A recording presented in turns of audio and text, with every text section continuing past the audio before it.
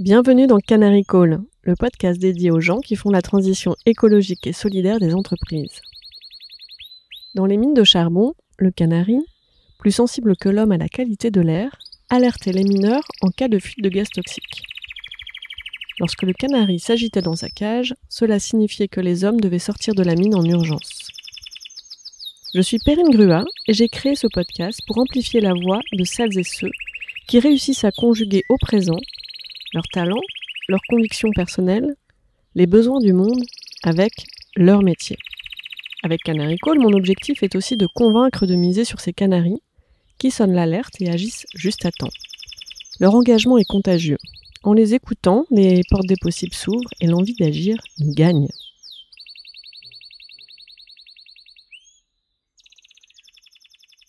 Bonjour Guillaume. Salut. Merci de nous accueillir chez Impact Partner. Avec plaisir. C'est comme ça hein, qu'on dit Ouais, euh, tu, tu le fais à la française, euh, Impact Partners, ou euh, tu dis Impact Partners. ah ouais, mince, pardon pour l'accent. tu connais la question, si tu étais un animal, tu serais lequel et pourquoi? Alors j'ai beaucoup réfléchi. Hein. J'ai posé des questions à tout le monde au bureau pour savoir quels animaux ils seraient. Euh, ah, t'as fait tout le bestiaire du bureau? Ouais, j'ai fait. J'ai même euh, posé à ma femme aussi. Euh, j'ai demandé à mon fils. Enfin, j'ai. C'est marrant. J'aime bien cette question. Et en fait, je pense que moi, si j'étais un animal, je serais un aigle parce mhm. que il est tranquille, tout en haut dans la montagne, que du coup, il peut voir hyper loin, à 360 degrés, que moi j'aime bien pouvoir voir au loin. Et puis il est beau gosse en fait. bon, je vous laisse euh, faire euh, Google euh, Guillaume Capel. Pour l'instant, vous avez la voix. Mais ouais, je trouve que c'est hum, j'aime bien ces animaux aussi qui sont capables en fait. bon, déjà, je suis assez solitaire, donc je pense que c'est aussi ça qui me rapproche d'un animal comme ça. Mais j'aime bien aussi ces animaux qui peuvent prendre le temps de regarder ce qui se passe autour d'eux et euh, voilà, euh, en, réfléchissant, parce que tu es toujours attiré par, euh, quand on te pose cette question, tu penses tout de suite à des animaux. moi, j'ai pensé tout de suite à des félins ou des animaux un peu comme ça, des animaux un peu rapides, des animaux un peu... et mais en fait, je crois que je suis beaucoup plus en l'air. Voilà. En l'air solitaire. C'est marrant que tu dises ça parce que par rapport à ton activité qui est quand même très liée aux gens, au collectif, être en soutien, en ouverture euh. Oui, je pense que c'est paradoxal et en même temps, je passe justement tellement de temps avec euh, plein de personnes différentes. Je fais constamment des nouvelles rencontres et des rencontres avec des gens qui viennent d'Afghanistan, du Sri Lanka, du Congo, de, partout dans le monde en fait. Et donc, je pense que quand je sors d'une journée de travail ou quand je rentre à la maison, on est aussi, euh, bon, voilà, euh, quand t'as un enfant, euh, t'es es tout de suite aussi en activité. Bah, je pense qu'il y a une part de moi qui a envie d'être aussi seul à certains moments. Et mais ça a toujours été le cas. En fait, j'ai toujours, même petit, j'ai toujours été comme ça. Mais peut-être parce que j'ai la chance aussi d'être très bien entouré. J'ai deux frères, donc du coup j'ai toujours eu de la présence autour de moi. J'ai j'ai des parents et des qui sont aimants et tout. Donc je pense que j'ai pas ce besoin d'être en interaction permanente. Et euh, voilà. C'est aussi peut-être ton moyen de te ressourcer Ouais, et puis euh, c'est aussi ma manière pour moi. J'aime beaucoup dessiner, j'aime beaucoup créer, j'aime beaucoup en fait passer du temps seul à réfléchir. Donc euh, je peux passer des heures moi à dessiner. Si euh, ça m'arrivait quand j'étais plus jeune en fait de passer quasiment un week-end euh, sur un dessin ou une peinture. Et je peux être très minutieux, je suis très patient. Euh, et j'aime bien ce temps aussi seul de création. C'est super que tu partages ça parce que c'est vrai que souvent on se dit euh, quelqu'un qui aime être avec les autres, qui s'exprime euh, aisément, est un extraverti. Or, en fait, on peut avoir cette vie sociale intense et avoir besoin de solitude pour se ressourcer, et ce qu'on euh, voilà les, introvertis. Moi, c'est mon cas, je l'ai découvert il y a pas longtemps. Et quand on le sait qu'on a besoin de ça, mm. et ça change tellement de choses en fait. Euh, le fait de le savoir en fait qu'on a besoin de ce temps-là, c'est. Euh, oui, et puis moi, je suis un introverti et je suis timide. Hein. Je suis les. Alors j'ai appris en fait avec mm. le temps aussi parce que j'ai pris conscience en fait que c'était important de parler et de s'exprimer pour faire grandir aussi une organisation. et je pense que je l'ai fait aussi beaucoup pour Singa et pour en fait toutes les personnes qui y avait derrière, pour l'équipe, pour la communauté qu'on était en train de créer. Mais en réalité, ça me demande un effort phénoménal que de parler aux autres et j'ai toujours peur en fait de voilà de me tromper de de mal représenter de et euh, je suis euh, comme un introverti extrêmement sensible à tout ce qui va se passer autour de moi. Je vais euh, prendre 250 informations visuelles auditives etc et je vais je vais rarement bien vivre en fait une intervention publique. En particulier s'il y a peu de gens devant moi. J'ai beaucoup plus de mal s'il y a 20 personnes en face de moi que s'il y en a 3000 parce qu'à 3000 mm. il y a trop d'infos donc tu lâches. Mais, euh, mais 20 personnes, c'est extrêmement euh, difficile pour moi. Bah merci euh, mm. beaucoup de te prêter à l'exercice parce que là, en plus, je suis toute seule en face, mais. mais ça va, one to one, ça va. je réfléchis pas aux gens qui y a derrière. Mais oui, il y aura quelques centaines de personnes, voire quelques milliers. C'est pas grave, je les vois pas. salut les auditrices, salut les auditeurs. et finalement, avec Singa, tu vas nous expliquer ce que c'est. Tu as quand même inventé et euh, une nouvelle organisation, un nouveau métier. Comment ça t'est arrivé? Euh, Tu savais déjà ce que tu voulais faire toi quand t'étais petit ou? Vraiment, c'est par hasard. Petit, je voulais dessiner des BD. Je crois que c'était mon, voilà, c'est le. Si moi demandé quel métier tu veux faire, hein, j'aurais dit dessinateur de BD. À un moment donné, euh, plutôt au lycée, je voulais écrire des romans. Donc j'ai écrit, je sais pas combien de, de bouquins que j'ai pas forcément publié. Mais ah, t'en as écrit? J'ai écrit euh, trois romans. J'ai écrit un roman qui est au lycée qui s'appelait euh, Le Tribunal des rêves, dans lequel euh, le monde était dominé par des femmes noires qui étaient à la tête de toutes les institutions, des gouvernements, etc. Ah, il y a une série un peu comme ça dans l'histoire. Hein. Et ben en fait c'était inversé donc et les religions aussi pareil tout était inversé donc le, le pouvoir était aux mains des femmes dans une société complètement renversée ça j'ai pas publié et après, j'ai fait pas ma... encore. Ouais, alors il faudrait le réécrire. Hein. Je, sais même pas où il est le, le, truc, mais en tout cas, ça m'avait vachement permis aussi de de réfléchir aux logiques de de pouvoir au sein de notre société, de des privilèges aussi dont je disposais, etc. Juste en étant né euh, d'une certaine couleur et euh, en étant un garçon, etc. T'avais quel âge quand t'avais écrit ça? Je sais pas, euh, c'était 16-17 ans. C'était en première terme. Et ça t'est venu comment? C'est une bonne question. Tiens, j'en sais rien. Je sais pas pourquoi. Pourquoi je m'étais mis à écrire ça Je sais pas. J'ai passé tellement d'heures à écrire des trucs. Euh, je sais pas où comment ça a démarré. Je suis incapable de te dire. Quelque chose qui t'a inspiré, un film, une réalité, une actualité? C'est pas commun de s'intéresser euh, et de passer autant de temps parce qu'écrire un roman ça prend beaucoup de temps. En première, ouais, c'était des heures. Première des terminale, euh, il y a quand même le bac, etc. Ouais, mais je, franchement, je suis incapable de dire euh, par où ça, par où ça démarre. Surtout qu'on est, enfin, je suis dans un contexte, j'ai grandi à Rennes, euh, dans, dans un contexte où c'est vraiment pas, c'est pas un sujet. Euh, dans la famille, c'était pas forcément un sujet. Euh, je sais pas. C'est par curiosité, peut-être c'est des lectures aussi qui m'ont amené à ça. Alors, s'il y a une chose, c'est que j'aime toujours tu vois prendre le, aller à contre-courant essayer de, de voir mm. aussi ce qui voilà ce qui manque peut-être aussi c'est les parents en fait euh, j'ai une mère qui est donc euh, encadreur artisan encadreur et donc du coup on a toujours eu à la maison aussi des centaines de cadres sur les murs qui sont aussi des fenêtres ouvertes euh, vers le, les cinq continents. entre le salon et la cuisine, on pouvait passer, tu vois, de l'Amérique latine à l'Asie en quelques cadres. Et donc je pense que ça, ça m'a aussi beaucoup ouvert l'esprit ça a fait que j'avais très envie de voyager. Et mon père, lui, était plutôt dans, il était dans l'agroalimentaire et dans les colorants naturels. Et donc lui, c'était plutôt l'écologie, c'était comment tu vends des, des produits naturels versus les produits synthétiques. Et je sais pas, je, pense qu'il y avait un petit côté Robin des Bois aussi d'aller euh, d'essayer d'inverser la tendance dans le secteur de l'agroalimentaire et tout ça. Donc je sais pas, peut-être que c'est ça qui m'a amené à essayer de réfléchir un peu différemment. Voilà, et les voyages. Parce que le deuxième roman, c'était euh, Retour de, du Japon, qui a été ma première expérience professionnelle. J'ai fait mon premier stage dans une chocolaterie euh, à Tokyo. Waouh Donc ça, c'était le stage de troisième? Non, non, ah. le stage de troisième, c'était dans un cabinet d'architecture, mais le le premier stage, donc quand j'ai commencé mes études en relations internationales, c'était euh, à Tokyo. Et donc là, pareil, l'expérience m'a, j'ai trouvé ça dingue, et donc j'avais fait tout un, j'avais écrit un truc que ça j'ai fait publier dans un, une maison de un peu auto-édition. Et pareil, mon, ma première expérience en Australie, là c'était à la fin de mes études. Je travaillais chez Amnesty International pendant un an. Également en revenant, en fait, j'ai fait une espèce de digestion euh, de via un roman, en fait. Et euh, c'est ta, manière de processer, de, de digérer. J'ai l'impression que c'est au bout de ouais, quand j'ai appris vraiment quelque chose ou quand j'arrive au bout d'un cycle, en fait, il y a souvent un moment d'écriture. Mmh.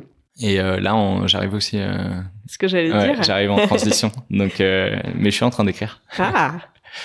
Teasing, teasing. Roman aussi? Non. Cette fois-ci, ce sera un essai. Ah. Mm. Bon, et c'est prévu pour quand? Alors là, euh, c'est prévu. Là, je, je, dirais que c'est prévu pour euh, l'année prochaine, on va dire. Bon, bah, on fera... je, suis en, pleine écriture, donc je suis incapable de te dire quand est-ce que ça termine. On fera un épisode un an après, sortie du livre. Ouais, voilà. J'ai hâte. On prend date. La pression. Ah, comme ça, voilà, t'as une date de sortie, mars 2025. Deadline. c'est parti. non, mais oui, euh, c'est c'est vrai que j'ai. Mais c'est marrant, je j'ai pas raconté ça souvent en fait. Mais c'est vrai que c'est un process pour moi en fait de. Ça permet de digérer en fait tout ce qui s'est passé, de le poser sur du papier. Et euh, il y a vraiment aussi, dans ce que tu dis, finalement, il y a poser, digérer, mais il y a transmettre aussi. L'expérience qui me vient quand tu dis j'ai fait un voyage, j'ai fait un stage, euh, j'avais un point de vue, j'avais envie de, de le prendre à la notion de pouvoir à contre-courant. Il y a quand même cette logique de transmettre. Peut-être, mais je pense que ça part quand même de quelque chose qui est beaucoup plus intime, qui est en fait, je veux comprendre ce que je viens de vivre. En fait, euh, je pense que au départ, c'est tous ces travaux d'écriture ont surtout été euh, pour moi en fait un gros exercice de compréhension et de, validation en fait euh, de ce que j'avais appris, d'essayer de l'articuler de manière simple, concrète pour que après moi, c'est vrai que je sois en capacité de le, le transmettre, mais pas forcément via ce médium-là. En fait, mmh. l'écriture m'a servi derrière pour plein d'autres choses quand je digère l'Australie, en fait, c'est euh, pour moi aussi le, le début de ma stratégie euh, chez Singa, en fait. Donc euh, ouais, je, je, je, pense que c'est il y a ce évidemment cette transmission, sinon on ferait pas en fait un livre parce que c'est un objet, ça peut se transmettre, voilà. Mais je pense que c'est enfin ça part vraiment de le c'est personnel. T'as fait quoi comme étude? J'ai fait des relations internationales en fait, j'hésitais entre deux choses, soit partir vers euh, de l'architecture, parce que j'aimais énormément le dessin, soit partir vers la diplomatie, parce que j'aimais beaucoup euh, rencontrer des nouvelles cultures, voyager. Et euh, j'aurais bien aimé avoir l'ambassade de Rome. Mais voilà. Et finalement, j'ai fait un master qui est sécurité internationale et défense. Donc, on apprend surtout à, vendre des chars et des avions et, et des armes. Et donc, du coup, je trouvais que j'étais un peu loin de ce pourquoi j'étais rentré. Donc je suis parti en Australie. Les surprises des méandres de l'orientation. Ouais, on n'atterrit pas forcément là où on, espérait. Et euh, après, j'étais pas non plus un excellent élève, donc euh, j'ai pas non, eu, non plus énormément de choix. Et je pense que j'ai, enfin c'est le déclic. Et puis je pense que j'étais aussi perdu dans le sens où j'avais du mal à voir ce que ces études-là signifiaient pendant 40 ans de travail. C'est mm. difficile de se projeter. Ah, c'est clair. Et donc voilà, et ça m'a finalement j'ai atterri en Australie chez Amnesty International. Je suis plus allé pour aller en Australie que chez Amnesty International, même si ça m'intéressait. Et là, en fait, ça a été un déclic euh, puisque j'ai rencontré des réfugiés qui étaient des entrepreneurs et que personne euh, ne semblait en fait euh, s'intéresser à ça. Et donc je me suis dit, ça y est, j'ai trouvé ce que je vais faire moi, en fait. Je vais passer du temps avec des entrepreneurs, avec des gens qui sont euh, extraordinaires, qui sont en train de faire preuve de la plus grande, de mon point de vue, intelligence qui puisse y avoir en fait dans l'humanité, parce que ils s'adaptent à des situations euh, complètement mm. dingues. Ils ont fui des conflits, fui des persécutions. Ils arrivent dans une, un nouveau pays, nouvelle langue à apprendre, euh, nouveau, enfin tout est à réinventer. Et en fait, ils y arrivent, ils construisent, ils contribuent. Et donc, euh, quand t'es quand es face à des personnalités comme ça, en fait, euh, déjà t'as envie de passer des heures avec elles pour apprendre. Et puis euh, tu te dis que hum, elles vont créer de la valeur, elles vont créer des emplois, elles vont elles vont contribuer. Et, et donc du coup voilà, c'était la naissance aussi de de Singa dans ma tête. Hum. Directement après ton ton stage? Ouais, directement en fait. donc j'ai terminé mon stage, j'ai fait de 22. Alors c'était pas un stage parce que j'ai finalement j'ai bossé là-bas. En fait, j'ai été pris, je me suis retrouvé à la tête de l'équipe d'assistance juridique de tous les cas de violation des droits humains chez Amnesty. Donc j'étais le coordinateur du, de ça. Et quand j'ai terminé cette expérience pro, je suis rentré à 23 ans à, à Paris. Et là, j'ai croisé euh, Nathanaël qui lui rentrait du Maroc et on, ça y est, on était parti en fait. Et euh, donc c'est 2011. On a mis un an à créer officiellement une association.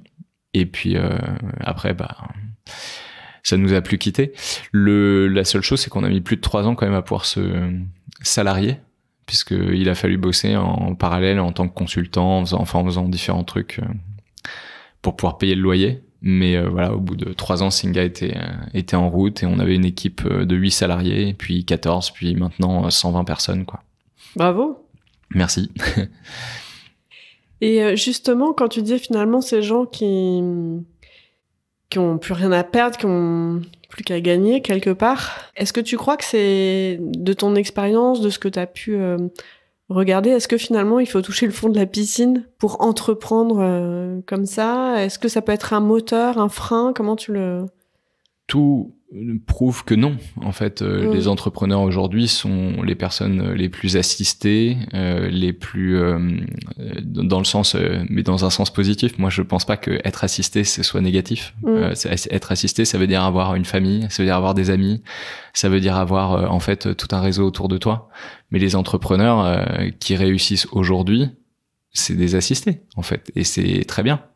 Et donc, c'est-à-dire, euh, c'est intéressant, parce qu'on a, en fait, euh, moi je vois dans les accompagnements de transition euh, professionnelle que que je peux avoir avec mon activité de coaching, j'ai soit des personnes qui souhaitent changer de de travail pour avoir une vie professionnelle plus alignée finalement avec leurs valeurs et ce à quoi elles veulent contribuer, ou qui ont envie d'entreprendre. Et souvent, entreprendre, c'est vraiment lié à la notion de prise de risque, de, de se mettre en danger, de se mettre euh, en tension. Et toi, tu dis finalement, les entrepreneurs sont les plus assistés. Ouais, j'y crois pas trop, moi, à la prise de risque des entrepreneurs qui réussissent le plus. Je pense mm. que les entrepreneurs qui réussissent le plus, ils ont 12 000 parachutes, ils ont des, une famille riche, ils ont... Euh, alors oui, ils empruntent 30 000 euros à la banque, mais euh, bon, ils ont la capacité en fait de recouvrir ça, ils ont un réseau, ils peuvent aller trouver un boulot qui va leur permettre de de en fait de rembourser ça. Une réelle prise de risque, euh, pour moi, c'est quand euh, en fait on n'a pas toute cette aide, mais je la souhaite à personne. Certains des entrepreneurs que je vois, en fait, et parmi euh, les personnes réfugiées, prennent beaucoup trop de risques aujourd'hui parce que si ça rate, ils vont ils vont avoir des années pour pouvoir s'en remettre, etc. Mais donc moi, je crois beaucoup qu'on a besoin de de créer beaucoup plus d'assistance. Et euh, après, c'est une question de potentiel. Il y a certains entrepreneurs euh, avec le même euh, type de soutien en fait qui vont réussir et d'autres qui vont pas forcément réussir. Parfois, c'est un bon momentum, parfois c'est le talent. Il y, a, il y a plein d'autres choses qui vont rentrer en compte. Mais cette logique de, en fait, on va mettre de la tension. On entend beaucoup ça aussi chez les investisseurs. On va mettre de la tension pour voir ce qu'ils ont dans le bid, etc. Moi, je crois que pas du tout que ce soit ça qui marche. Je mm. crois qu'au contraire, on réussit plus quand, quand on a pas peur que tout s'effondre le lendemain. Je crois pas du tout au couteau sous la gorge, etc. On n'est pas obligé de se mettre euh, au bord du précipice euh, pour prendre une décision euh, entrepreneuriale. Et même, je suis un peu choqué en fait quand j'entends des entrepreneurs dire on va aller à la guerre, on va, etc. Parce qu'il y a des guerres aujourd'hui. Certaines personnes justement ont dû partir de chez elles parce qu'il y a un conflit, il y a une guerre, etc.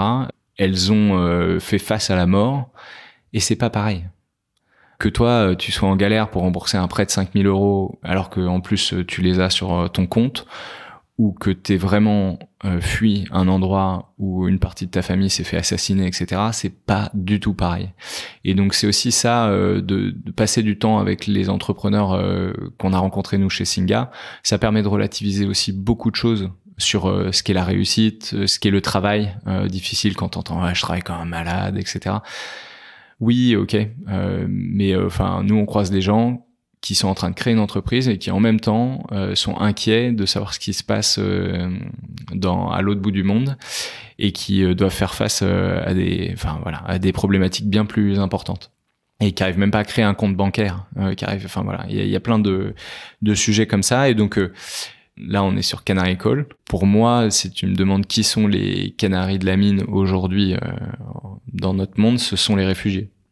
Ce sont des personnes qui euh, sont euh, les premières à nous indiquer en fait que les choses vont mal à un endroit. Elles meurent aujourd'hui soit parce qu'elles n'arrivent pas à partir, elles meurent sur la route, elles meurent dans les camps, elles meurent dans la Méditerranée, elles meurent sous des ponts aujourd'hui dans, dans nos sociétés. Et au lieu de se dire bon, il faut qu'on arrête de creuser la mine parce que là, euh, tous les Canaries euh, essayent de voilà de, s'enfuir. Euh, j'ai l'impression que on prend pas ça en compte. On est en train de s'enfoncer de plus en plus loin, attiré par je sais pas quel butin dans la mine, et on n'a pas compris que le véritable trésor, il est dehors. Et donc du mmh. coup, je je vois qu'aujourd'hui, il faut vraiment qu'on prenne en compte tous ces signaux faibles et qu'on comprenne aussi que s'il y a déjà autant de réfugiés aujourd'hui, enfin on a doublé cette dernière décennie le nombre de personnes qui ont été déplacées dans le monde, avec les changements climatiques qui arrivent, avec les tensions qu'il va y avoir sur des ressources rares, on en est qu'au tout début si on fait pas complètement évoluer notre système économique, social et culturel. Et donc voilà, moi j'avais envie aussi d'être en présence de ces canaries pour comprendre en fait qu'est-ce qui fuit, quel est le réel danger parce qu'on entend beaucoup parler des risques et tout, mais c'est elles qui savent. Oui, et puis ça fait vraiment lien euh, finalement avec ta curiosité sur la diplomatie internationale. Euh, et c'est de la sécurité internationale.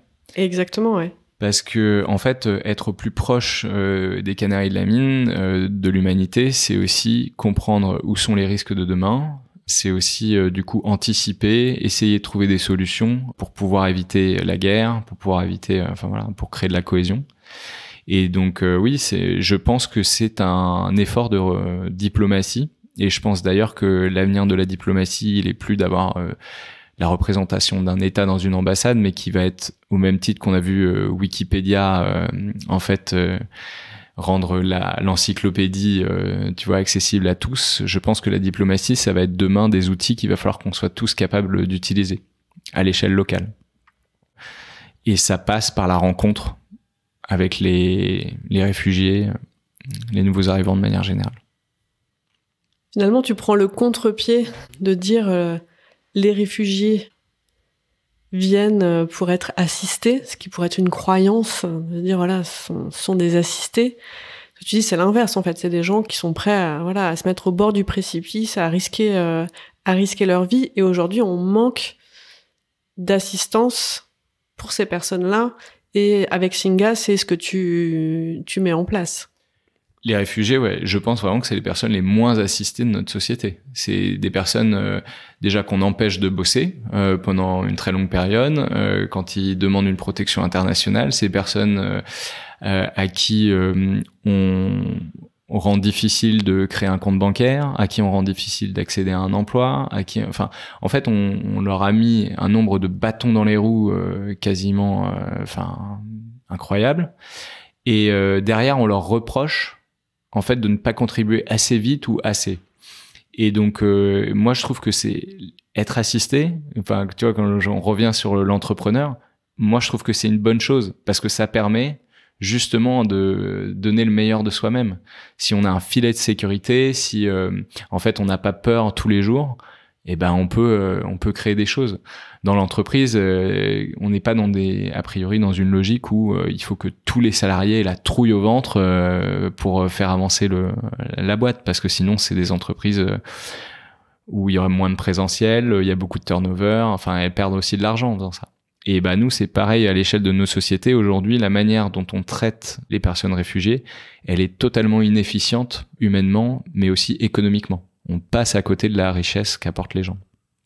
Vous avez accompagné depuis 2011 à peu près combien d'entrepreneurs? 2000.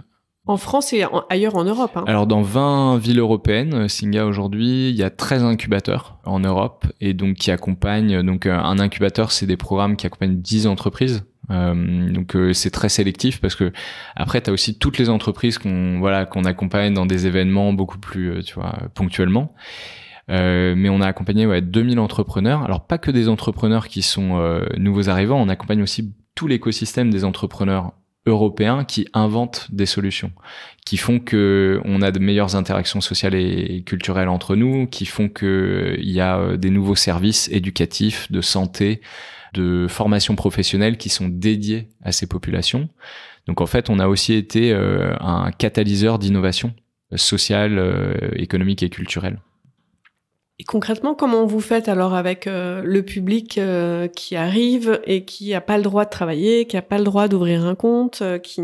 Comment est-ce que vous faites pour mettre en œuvre cet accompagnement subversif? Ouais, mais alors malheureusement, ce public-là, en fait, qui va arriver, qui n'a a pas encore qui a pas encore ces documents pour euh, voilà faire euh, on peut pas travailler avec euh, mm. ces personnes.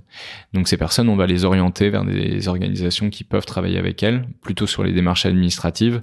Nous on peut travailler avec des personnes qui ont différents documents parce qu'en fait aussi on a beaucoup entendu parler des réfugiés statutaires mais c'est pas la seule protection internationale qui existe. Tu as aussi des protections temporaires comme euh, la situation des Ukrainiens qui a été complètement euh, créée pour eux.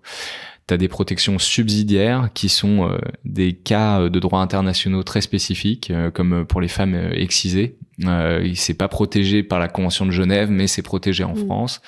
Tu vas avoir aussi toutes les personnes qui viennent d'Afghanistan, de Syrie qui n'ont pas envie de se taper trois ans de démarche administrative pour demander l'asile et qui du coup prennent un visa étudiant, un autre visa, visa de travail ou que sais-je, et qui du coup passent pas d'autres circuits et qui pour nous en fait sont exactement euh, les mêmes personnes en fait parce qu'elles sont parties du même endroit, elles ont euh, les mêmes problématiques en arrivant.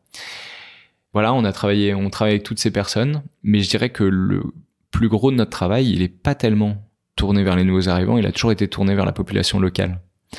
Parce qu'en fait, euh, je dirais que la partie de la société qui doit le plus évoluer, c'est pas tellement ceux qui arrivent, c'est ceux qui sont là. Et en fait, ils doivent changer aussi de mindset, arrêter de croire que, en fait, ils sont supérieurs parce qu'ils ont été là plus longtemps, euh, arrêter de aussi mettre les gens dans des quartiers spécifiques, dans des immeubles spécifiques, etc. Mais laisser la place, en fait. Laisser la place dans leurs entreprises, développer leurs compétences aussi interculturelles. Ça va dans les deux sens. Si les gens qui arrivent doivent apprendre le français, doivent euh, euh, mieux comprendre comment fonctionne le business en France, il faut aussi que les Français utilisent leur présence pour apprendre. Et on, on a une chance incroyable. On a des personnes qui ont vécu des choses que quasiment aucun d'entre nous n'a vécu de, de voir un conflit, euh, de en fait euh, de traverser la moitié du monde pour euh, s'installer pendant des années à un endroit qui n'était pas forcément un endroit que tu as choisi. En fait, tout ça, c'est c'est des expériences qui sont phénoménales et, et dont on peut apprendre. Toi, tu as appris quoi à travers cette expérience de presque 15 ans maintenant? Mais tellement de choses parce qu'en fait déjà chaque fois qu'un entrepreneur a passé la porte chez Singar, il voulait créer des choses dans un secteur différent. Donc j'ai des gens qui voulaient créer euh, un média, j'ai des gens qui voulaient créer un studio de cinéma, des gens qui voulaient créer un restaurant, des gens qui voulaient créer, euh, je sais pas, une intelligence artificielle, euh, d'autres qui voulaient créer un robot. Et donc moi j'y connais rien.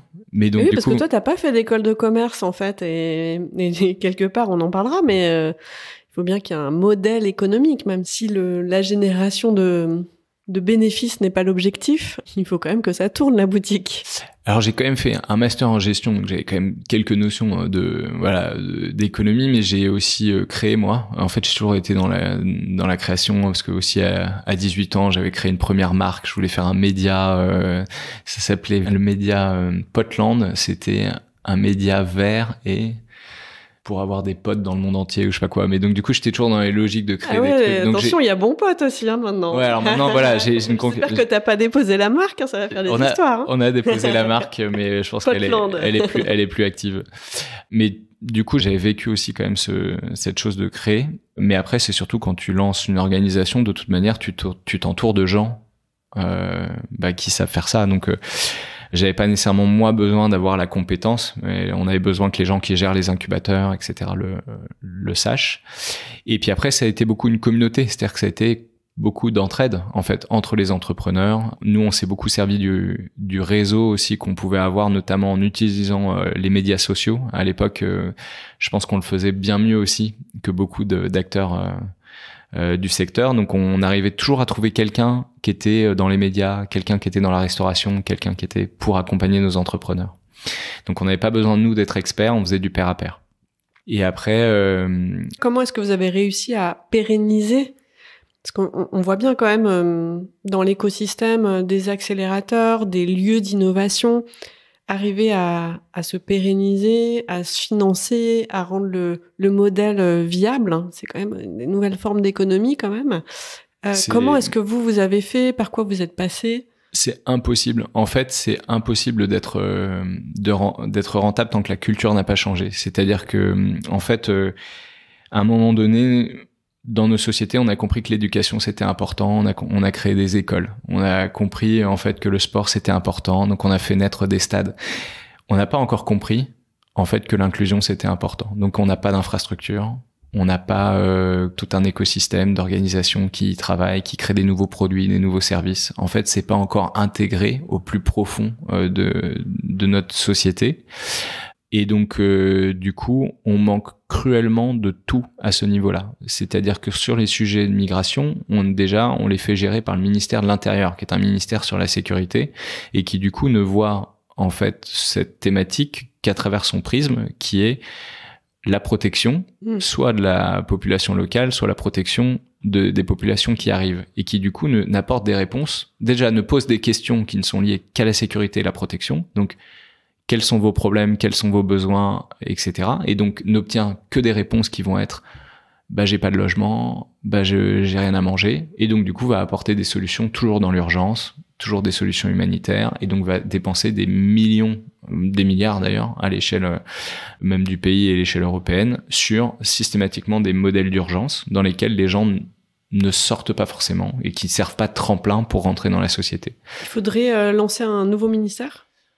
Je sais pas si c'est un nouveau ministère ou s'il faut que ce soit un autre ministère qui le gère. Euh, ce qui est certain, c'est que hum, il faut créer de l'infrastructure et il faut aussi euh, qu'on ait une partie, je pense, de ce secteur qui soit privatisé, parce qu'en fait, euh, on a besoin d'innovation. Les acteurs associatifs sont, euh, en fait, enfin, franchement, aujourd'hui, ils sont des héros. Hein. Ils, ils, font avec extrêmement peu de moyens des choses assez extraordinaires mais on a une myriade de tout petits acteurs qui doivent gérer en fait euh, énormément de, sujets en parallèle. Donc moi je pense qu'en fait on a on a besoin de, créer l'équivalent euh, d'école, de stade, on, a, besoin d'avoir nos espaces de rencontre. On a besoin euh, d'avoir aussi des, des, nouveaux services sur l'éducation, des nouveaux services à tous les niveaux en fait, de santé, etc., qui vont vraiment permettre aux gens d'arriver très rapidement en fait euh, dans la société, être en capacité en fait euh, de, contribuer. Et surtout, il faut que nous on soit prêts à accueillir leurs connaissances et leurs compétences. Et et aussi euh, pourquoi pas les les commercialiser en fait. Pourquoi pas générer de la valeur grâce à ça. Et on voit que les sociétés qui sont les plus ouvertes à l'immigration sont les sociétés où il y a le plus d'innovation aussi à l'échelle internationale. Tu penses à bah, tu regardes l'innovation aux États-Unis, l'innovation aussi en, en Angleterre. Euh, tu regardes euh, les entreprises qui sont les plus grosses du monde. En fait, il y a euh, quasiment toujours un immigré euh, dans parmi les actionnaires. Il y a, enfin, parmi les fondateurs et les dirigeants. Et euh, quand tu regardes le nombre de brevets qui sont déposés, quand tu regardes le nombre d'entreprises qui sont créées, en fait, tu te rends compte qu'il y a une proportion phénoménale aussi des, des étrangers à créer ces entreprises, à déposer ces brevets. Je pense que la raison, elle est assez simple, c'est que le voyage, l'exil aussi, cette expérience-là, elle est extrêmement nourrissante. Le décalage aussi d'une société à une autre, permet de voir des trucs qui manquent, des trucs que tu peux améliorer. Et euh, d'ailleurs, même dans les récits des entrepreneurs euh, français, quand ils te racontent qu'est-ce qu'ils ont créé, t'en as souvent un qui te dit euh, je suis parti en Amérique latine, puis j'ai vu ce truc-là, et puis je suis revenu, et puis j'ai moi, tu vois, l'Australie. Hmm. Et donc du coup, le voyage, il est quand même souvent aussi au cœur, en fait, de, de l'innovation, de la transformation. Donc voilà, je pense qu'on a juste besoin de d'être d'être plus équipé là-dessus. Chez Singa, vous avez besoin de quoi maintenant pour hmm. accélérer? Alors Singa, euh, bah, l'organisation internationale, elle est, c'est toujours une ONG. Donc en fait, euh, c'est principalement aujourd'hui des associations. Elles sont dans une vingtaine de villes en Europe et elles fonctionnent beaucoup avec du sponsoring privé. Donc elles font des partenariats avec des grandes entreprises et elles montent euh, hmm. soit des incubateurs thématiques dans un secteur particulier, soit des incubateurs plus polyvalent quoi. Et, et, donc là ça va plutôt être la logique d'avoir un impact social sur des populations qui aujourd'hui sont quand même assez éloignées de l'entrepreneuriat. Et donc ce sont plutôt des entreprises aujourd'hui qui sponsorisent l'activité qui, qui, les accueillent aussi peut-être? Euh, tu veux dire Vous avez vos propres locaux euh... Ouais, non, nous on a nous on a souvent des propres locaux, mais euh, dans la quand on crée dans une nouvelle ville, ça arrive qu'on fasse des partenariats pour avoir pour disposer par exemple d'une d'un bout de voilà de locaux dans une entreprise. Ça c'est hyper ça ça peut faire vraiment la, la différence. Oui, en termes de rencontres. Euh. Ouais ouais, c'est essentiel et puis en plus moi, ce que je trouve très intéressant quand tu es dans un écosystème qui existe déjà, typiquement une entreprise, c'est que hum, les salariés aussi vont voir arriver en fait euh, cette organisation qui va être très active, organiser plein d'événements, ils vont rencontrer des nouvelles personnes et puis ils vont aussi petit à petit changer leur regard parce qu'entre ce qu'ils voient sur Google ou ce qu'ils voient euh, dans les médias et ce qui va se passer dans une communauté Singa, il y a strictement rien à voir. Mm. Et donc euh, ce que je trouve qui est intéressant en fait dans ces communautés locales, c'est que les gens peuvent être citoyens. Parce que quand tu regardes ce qui se passe à la télévision, souvent tu te sens démuni. En fait, euh, tu es, vraiment impuissant. En fait, qu'est-ce que je peux faire moi mm. Il y a un conflit international. Je peux signer une pétition, je peux faire un don, mais en fait, tu te sens quand même assez limité dans ta capacité d'action. Alors que là, en fait, dans, dans une communauté, euh, bon, il y a des choses très concrètes à faire des mises en relation, euh, juste passer du temps, écouter les autres, euh, travailler avec un entrepreneur sur son business model. C'est voilà, c'est du concret, c'est simple, ça prend pas non plus euh, toute ta journée. Et voilà, donc on, on engage. Et, et, juste quand même pour te répondre sur le business model. En fait, Singa, c'est donc une association euh, qui aujourd'hui est dans sept pays, qui fonctionne beaucoup avec des partenariats privés euh, sur des activités très concrètes, donc euh, les incubateurs, accélérateurs, qui va organiser aussi beaucoup d'événements. Donc en fait, on, a beaucoup d'entreprises qui participent à, à ces événements. Et euh, depuis plus récemment, en fait, on a des activités de conseil. Donc, en fait, on va accompagner les entreprises dans aussi euh, une transition vers plus d'inclusion et surtout d'interculturel, parce que ce qui nous intéresse, nous, c'est pas tellement qu'elles accueillent par solidarité. En fait, ce qui nous intéresse, c'est qu'elles bénéficient en fait de la présence des gens qui arrivent ou des gens qui sont d'ailleurs déjà dans la boîte, parce que souvent, ce qu'on oublie, c'est qu'il y a énormément d'étrangers dans toutes nos entreprises en fait, hmm. et, et, souvent on passe aussi à côté un peu de bah, toutes les choses qu'ils peuvent apporter. Et la dernière chose, bah, c'est le fonds d'investissement aussi euh, qu'on est en train de créer euh, ensemble. Oui, parce que euh, tu parlais de nouvelle étape. Oui. que, que tu arrivé au bout d'un cycle et que tu t'apprêtais à en démarrer un, un autre, que un projet de livre était lié à cette étape-là. Est-ce que tu veux nous en dire plus? Bah le, il y a deux ans, en fait, euh, je me suis vraiment lancé dans la création d'un nouveau projet qui est un fonds d'investissement pour aller soutenir, on va dire, les champions de l'inclusion à l'échelle européenne. Pas seulement dans l'écosystème Singa, mais au-delà. De trouver vraiment les gens qui vont apporter, en fait, euh, des innovations qui vont nous permettre de transformer euh, nos sociétés, de les préparer aussi aux migrations du siècle qui viennent et, et à l'intégration des populations qui sont déjà là.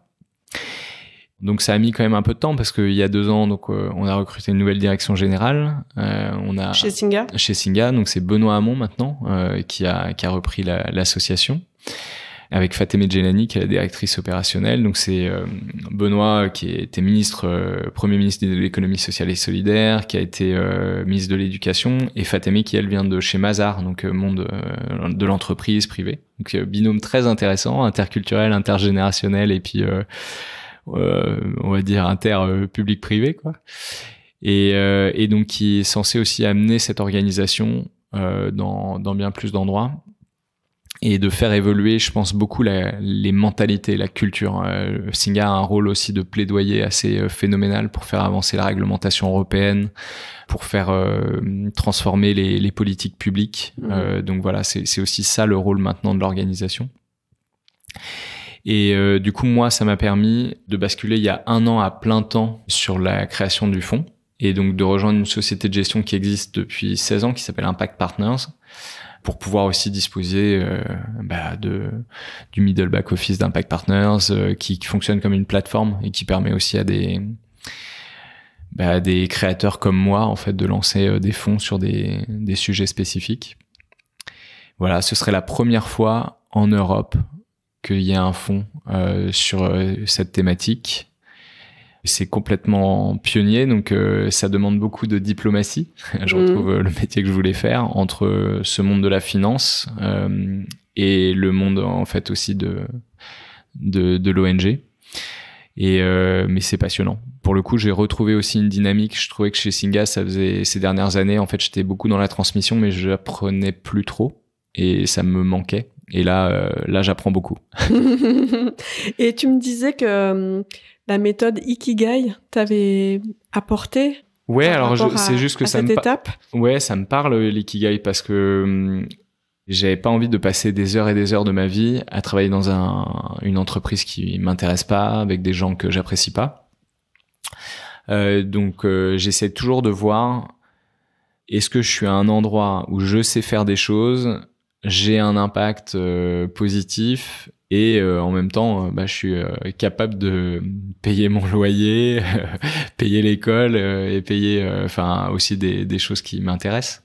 Oui, c'est ça, parce que pour celles et ceux qui connaissent pas Ikigai, c'est un outil quelque part un peu d'auto-coaching pour aligner à la fois ses talents, ses forces, hein, ce qu'on sait bien faire, son métier et puis ses, convictions, ses grands principes de vie, ses, valeurs. Euh. Ouais, c'est un outil d'alignement, exactement. Et vraiment, c'est. Euh, alors après, on n'est jamais tout à fait au milieu hein, sur le, le, petit dessin. Je pense que c'est c'est très difficile, mais ouais, c'est ça. Au moins, ça clarifie la quête. Ouais, exactement. Et si on voit qu'on est complètement à côté, c'est le moment de se dire, ok, il faut que je il faut que je bouge, il faut que je change quelque chose. Moi, j'aime mieux parler de boussole, hein, d'orientation, que de cases à, mm. remplir ou dans lesquelles il faut rester. C'est comme euh, le rêve, c'est une quête qui, qui nous met en tension. Après, le rêve va devenir le mm. projet, sinon euh, non, mais tout on risque de ne pas s'accomplir. Euh, donc, donc là, nouvelle nouvelle étape par rapport à ça. Quelles sont tes ambitions? Est-ce qu'il y a déjà des projets dont tu as envie de parler qui sont concrétisés?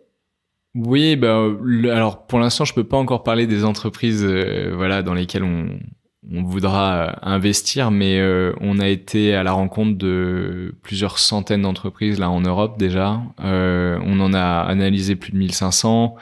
Il y a des entreprises incroyable en France, en Allemagne, mais aussi euh, dans, dans, plein d'autres pays. Euh, on a trouvé beaucoup d'innovations aux Pays-Bas, par exemple. C'était c'était amusant de, de, voir que cette petite terre a été si innovante en fait sur ces sujets-là.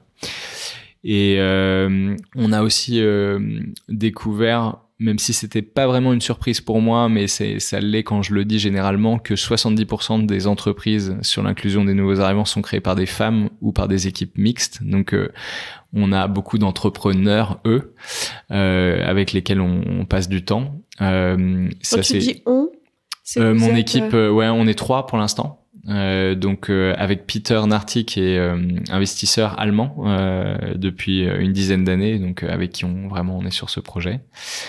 Et puis euh, donc Aya aussi qui est avec nous, euh, qui est euh, plus junior mais euh, qui est qui fait partie de l'équipe. Et puis c'est une équipe qui va grandir encore. On sera après a priori 7 à vitesse de croisière. Et donc là, on est dans notre levée de fonds. Donc on rencontre plein de family office, d'entrepreneurs qui sont intéressés par ce sujet, parfois de célébrités aussi qui sont soit issus de l'immigration, soit qui sont intéressés par ces sujets-là des athlètes de haut niveau, etc. Comment est-ce que la communauté de Canary Call peut t'aider dans cette démarche-là? Alors, soit s'il y a des entrepreneurs en fait euh, qui sont intéressés par ce sujet, ils peuvent aussi me contacter, on peut en parler. Euh, nous, on cherche aussi beaucoup des au-delà des entrepreneurs qui vont apporter peut-être un ticket, mais aussi euh, de l'intelligence en fait autour du projet. On cherche aussi des institutions qui sont aussi en capacité de rentrer sur des projets comme ça.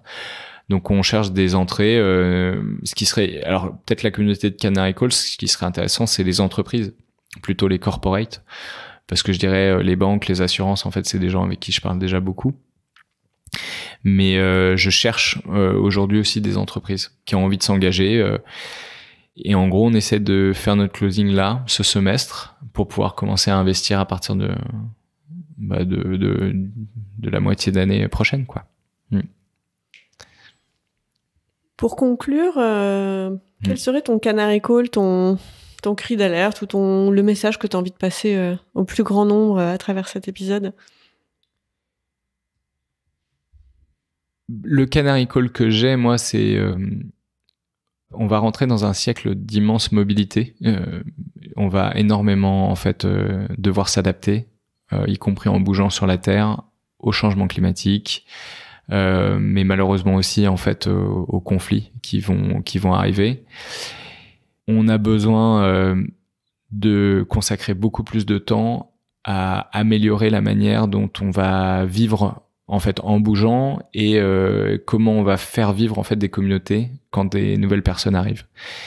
Et donc euh, moi mon canary call c'est ça, c'est que je pense qu'on a besoin d'innover sur l'interculturel. Euh, c'est très bien de faire des intelligences euh, artificielles, mais euh, j'aimerais bien qu'on développe notre intelligence interculturelle.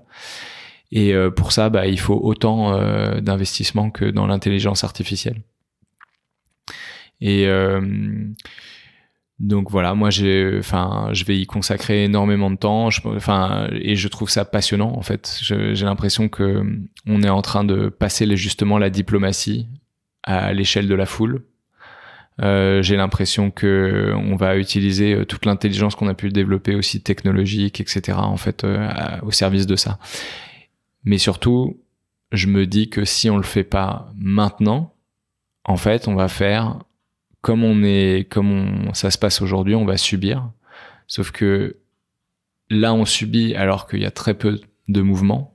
Donc, euh, si on se bouge pas maintenant, on va, ça va exploser dans tous les sens, quoi. Donc, euh, allons-y.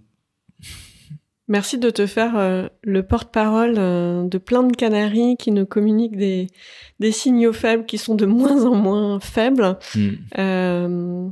Merci voilà d'avoir partagé avec nous euh, ta sensibilité pour euh, pour ce sujet euh, de manière à la fois intuitive. Je pense qu'il était venu de manière complètement intuitive au départ. on, l'a entendu hein, même dans l'adolescence. ce sujet te touchait déjà. Tu sais même pas trop comment et que tu as maintenant conscientisé, que tu l'as passé à l'action, à l'échelle. Qu'est-ce qu'on doit te souhaiter pour la suite?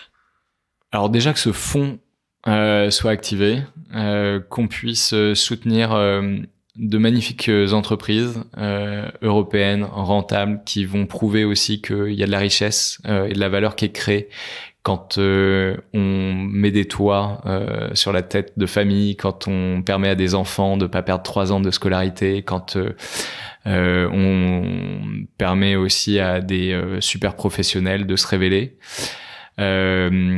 que on permet à des entrepreneurs euh, de lancer des, des, nouveaux produits, des nouveaux services dans, dans nos sociétés et euh, euh, de continuer aussi à m'amuser en faisant ça parce que je crois que euh, si j'arrive à trouver encore la motivation aujourd'hui, c'est parce que j'ai la chance de rencontrer des entrepreneurs euh, formidables et euh, j'espère que ça va continuer.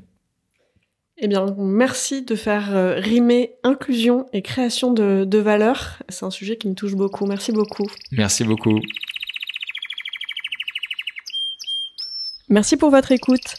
Pour être tenu informé de la diffusion des nouveaux épisodes, je vous invite à vous abonner au podcast sur la plateforme de votre choix et à suivre les comptes de Canary Call sur les réseaux LinkedIn, Twitter, Instagram, YouTube et Facebook. Pour amplifier la voix de mes invités, n'hésitez pas à commenter, partager ou même offrir vos étoiles.